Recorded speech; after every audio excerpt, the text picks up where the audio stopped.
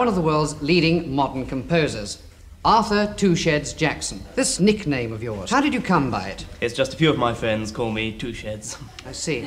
And do you, in fact, have two sheds? I've only one shed. I've had one for some time.